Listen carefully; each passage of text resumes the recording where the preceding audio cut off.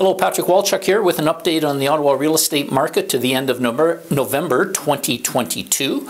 And this is what we have going on compared to November of last year. And again, if you enjoy these videos, click on the notification and the subscription button and we'll get them pushed out to you every month.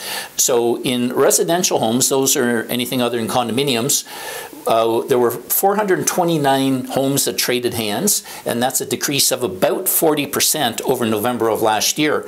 The average price is also down uh, at about $722,000, and on a percentage basis, that's a decrease of about 6%. In terms of active listings, we've got a lot more listings on the market at uh, 2,642. It's 184% more than this time last year.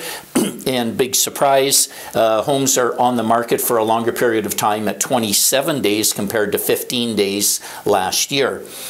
Looking at condominiums, there were 170 sales, which is a decrease of about 52%. The average price of a condo in Ottawa now is $425,000. That's a decline of 3%. In terms of the active listings that are on the market, there's 600 condos for sale, and that's a, an increase of 47%. And condos are also taking a little bit longer to sell to 29 days compared to 25 last year. And if we put, um, just before I get to this one, uh, if we put both the condos and the freehold together, we've got about a 21 week supply of inventory on the market, which to me is a balanced market. Some people say 21 weeks inventory is balanced, other people say 23 to 24. So anyhow, it's 21 weeks right now.